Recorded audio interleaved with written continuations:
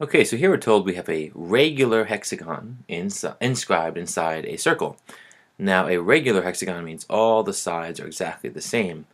And our goal here is to find the measure of angle AG, this point at intersection here, E.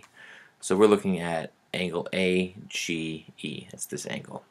We want to know what is that. And that's really all the information we're given, but you know, it's more than enough to solve it. Now, first of all, we need to know how many degrees are on the interior of a hexagon. And we can remember that a triangle has 180 degrees, right? A square, essentially two triangles, has 180 plus 180, or 360 degrees.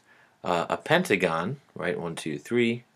I always I have a hard time drawing a pentagon four, five. There we go. Um, that is like having one, two, three triangles, right? So 180 plus 180 plus 180 are 540 degrees. So a hexagon, right, the shape we have here, the hexagon has another 180 degrees, and polygons build up like this. It's You can start with a triangle and work your way up.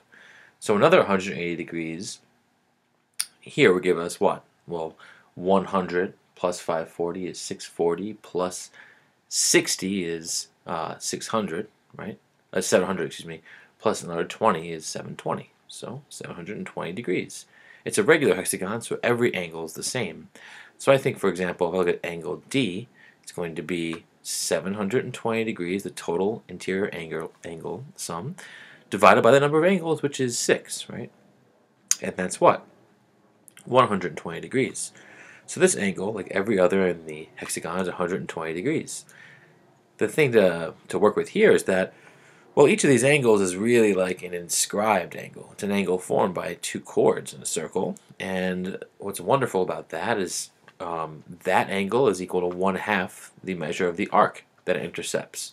So here the arc would be all the way from E to C, and it would be essentially double this angle. So for example, arc E well, you know, I won't call it EC because it won't be clear which way we're going, but let's call it EAC, right, that big arc. That's equal to 2 times 120, or 240 degrees. Now, that's helpful because, you know, every part of this arc is made up by one of these pieces, and you don't know the exact measure to begin with of each of these, these smaller pieces, but all you know is that they're the exact same thing because uh, right? They're intercepted in the exact same way by a regular hexagon. Every piece of the hexagon, every side is the same, so each of these arcs is also the same. So in this entire measurement of arc E, A, C are, are these pieces, and they're all equal. So we're going to divide the entire length of this arc by the number of these equal pieces. So we have one, two, three, four of them. So 240 degrees divided by 4, that would give us the total length of one of these pieces. That's 60 degrees. So each of these arcs are 60 degrees. Now this angle right here, right, AGE, is in a special situation, right? It's formed by the intersection of two chords. And what we can use um, when we have the angle formed by the intersection of two chords is that the measure, right? Oops, I will write down here. The measure of, in this case, angle AGE, one that's intercepted by the chords, is equal to one half of the sum of the measures of the of the arcs it intercepts.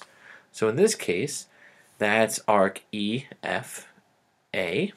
So the measure of EFA, that arc, sum, so plus, the measure of arc BC here. So BC. And, you know, I'll, I'll highlight that. So we have these two arcs and, you know, the arc of, by the, the chord here and the chord here intercept forms an arc going from this point to this point. That's this big arc right here. Made up of one, two of these pieces. So that's 120 degrees.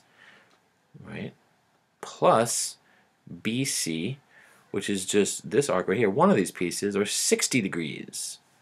So, pull us together, and the measure of our angle is 1 half of 180, right? And that's 90 degrees. So here the answer is 90 degrees. Hope that helped.